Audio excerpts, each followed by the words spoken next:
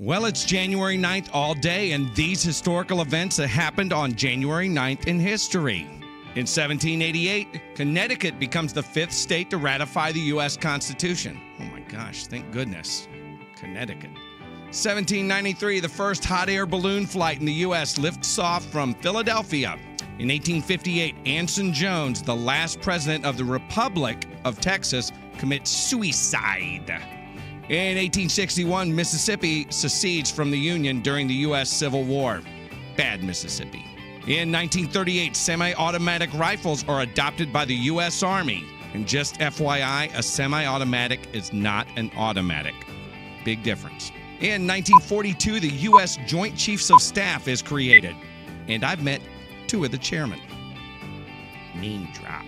In 1968, the Surveyor 7 space probe soft lands on the moon. In 1984, the rock band Van Halen releases their most successful album, duly named 1984.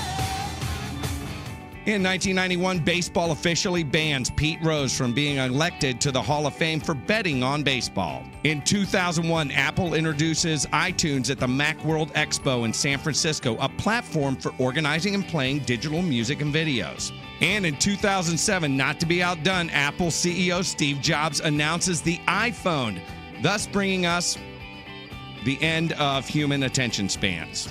What happened each date won't be a mystery if you subscribe to my channel for this date in history. Like, share, subscribe, plus check out the comments for even more January 9th history. No, two hour two hour early release tomorrow. Watch a tree fall on my house.